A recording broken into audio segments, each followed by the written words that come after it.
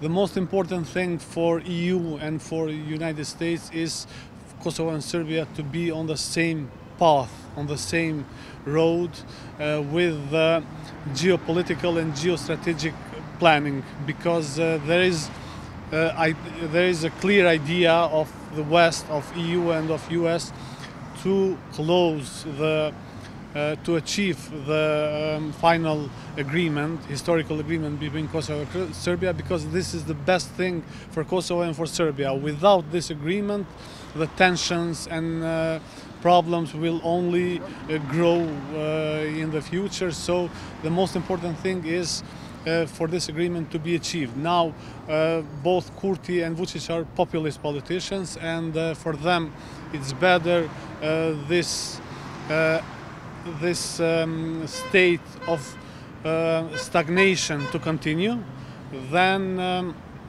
but unfortunately, it's not good for the people of Kosovo and Serbia. So I think that the most important um, uh, message will be that uh, there is no alternative regarding the uh, uh, achieving the uh, final agreement between Kosovo and Serbia. Everything else is going to be a terrible thing for Balkans, for the people, for for, for everybody. So uh, the problem is that we need more pressure. We need more uh, harder stance.